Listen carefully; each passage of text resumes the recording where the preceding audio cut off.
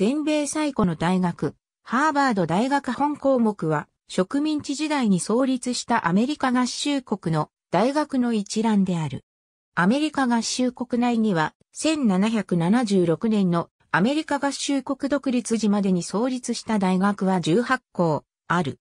そのうち、ハーバード大学、ウィリアムメアリー大学、イエール大学、ペンシルベニア大学、プリンストン大学、コロンビア大学、ブラウン大学、ラトガース大学、ダートマス大学の9校は、正式な学位を授与する大学としての認可を、アメリカ合衆国独立以前に受けており、特にコロニアルカレッジと呼ばれている。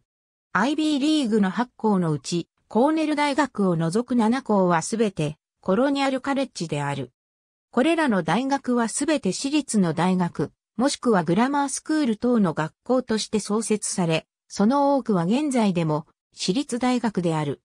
しかし、後にデラウェア大学は半官半民という形に移行し、ウィリアムメアリー大学及びラドガース大学は州に移管されて州立大学となった。また、チャールストン大学は市に移管され、全米最初の私立大学となった。ありがとうございます。